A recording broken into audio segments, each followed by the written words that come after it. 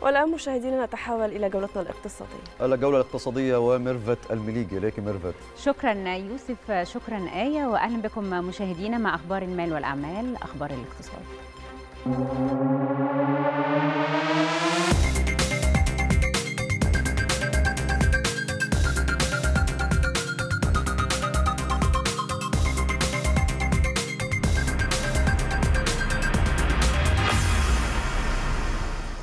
أكد المركز الإعلامي لمجلس الوزراء أن تحسين أداء الميزان التجاري وتحفيز الصادرات أصبح هدفا قوميا واستراتيجيا تتسارع في إطاره جهود الدولة في ظل وجود تكامل بين السياسات المالية والنقدية وضوابط الإنتاج. جاء ذلك في التقرير الذي نشره المركز الإعلامي لمجلس الوزراء وتضمن إنفوجرافات تسلط الضوء على انخفاض الفجوة بين الصادرات والواردات لأقل مستوى لها منذ سبع سنوات وذلك بفضل جهود الدولة في تحسين أداء الميزان التجاري. وفي هذا الصدد كشف التقرير عن تحقيق الميزان التجاري تحسنا كبيرا وأنه يواصل تحسنه رغم الأزمات العالمية المتتالية مستعرضا أداء الميزان التجاري في الفترة من عام 2014 إلى عام 2021 حيث سجل نحو 39 مليار و800 مليون دولار عام 2021 و41 مليار و100 مليون دولار عام 2020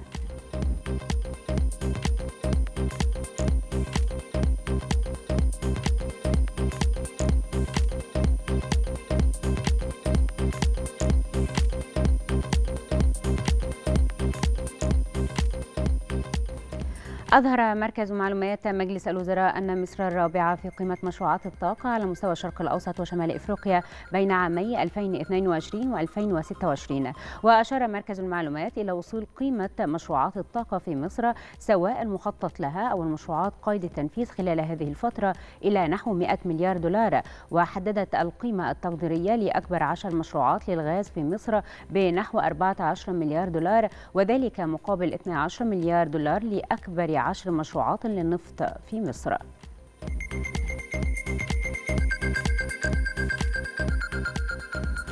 أكدت وزيرة التجارة والصناعة نيفين جامع الحرص على تعزيز التعاون الثنائي مع دولة الهند في مختلف المجالات. جاء ذلك خلال حضور وزيرة التجارة توقيع محضر أعمال الدورة الخامسة للجنة التجارية المصرية الهندية المشتركة والتي عقدت بالقاهرة. وفي غضون ذلك أشارت وزيرة التجارة إلى أهمية تفعيل دور مجلس الأعمال المصري الهندية للاستفادة من الفرص الاستثمارية بالبلدين. وقالت الوزيرة إن اللجنة التجارية المشتركة تعد إحدى الآليات الرئيسية لتعزيز العلاقات الاقتصادية مع الهند استشراف مجالات جديدة للتعاون خاصة في مجال الأمن الغذائي.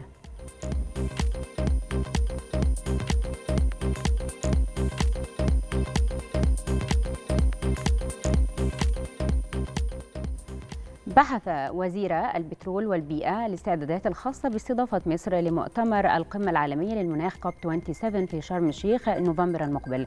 وقد تناول الاجتماع جهود فريق العمل المشترك من الوزارتين في إنجاز الترتيبات اللازمة لتنظيم عدد من الفعاليات الخاصة بالاستدامة البيئية وخفض الكربون في قطاعات الطاقة والبترول والغاز.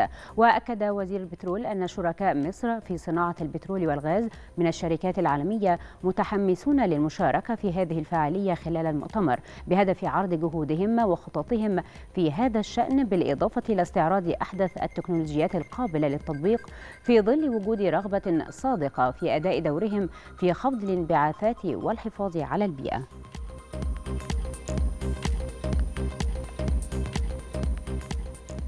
أكد محافظ شمال سيناء محمد عبد الفضيل شوشة على تخطيط المنطقة الصناعية في وسط سيناء وذلك طبقا لقرار رئيس الجمهورية بتخصيص ما يعادل 329 كيلو 200 ألف مترا مربعة كمنطقة صناعية بوسط سيناء. وأعلن المحافظ خلال اجتماع اللجنة الدائمة للاستثمار والمنعقدة بالمحافظة أنه تم تقسيم المنطقة إلى عدة قطاعات من بينها قطاع يخصص للصناعات المتوسطة وفوق المتوسطة والتكميلية للصناعات الثقيلة والصناعات المتنوعة. وأيضا قطاع آخر يخصص للصناعات الثقيلة ويخصص مكان ثالث لصناعات الرخام والجرانيت والسيراميك.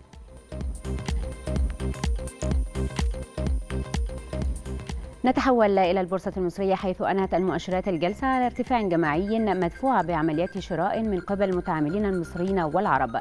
وقد ارتفع رأس المال السوقي بنحو 5 مليارات ونصف المليار جنيه ليغلق عند مستوى 627 مليار و782 مليون جنيه.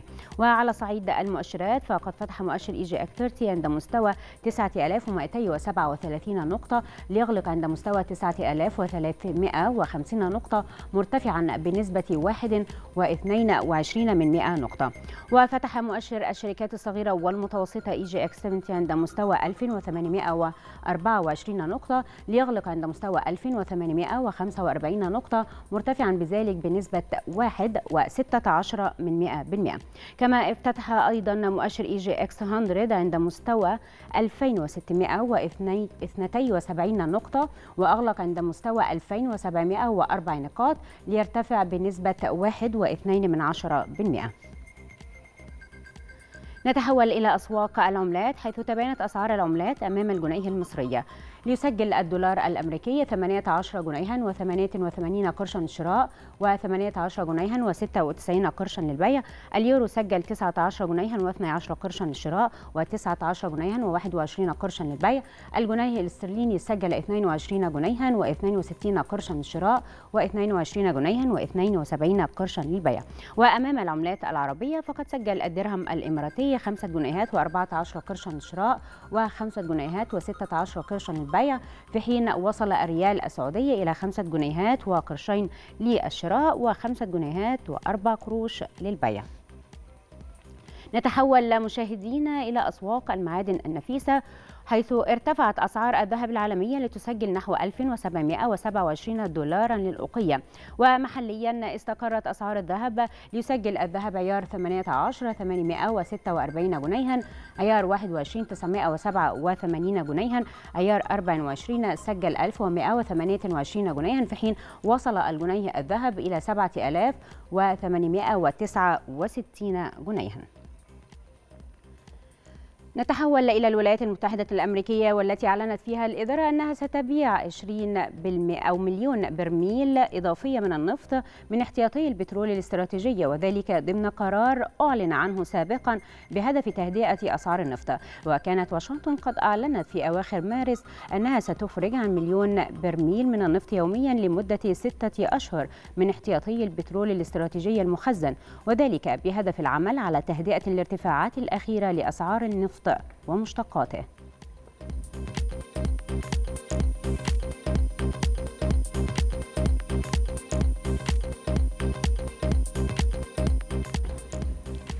انتعشت معظم أسواق الأسهم في منطقة الخليج وسط ارتفاع أسعار النفط على الرغم من أن مؤشر أبو ظبي خالف الاتجاه ليغلق على انخفاض وارتفع المؤشر السعودي بنسبة 8 من 10% كما جنى المؤشر القطري مكاسب بنسبة 6 من 10% واختتم المؤشر الرئيسي في دبي التعاملات مرتفعا بنسبة 4 من 10% في حين انخفض مؤشر أبو ظبي بنسبة 4 من 10%.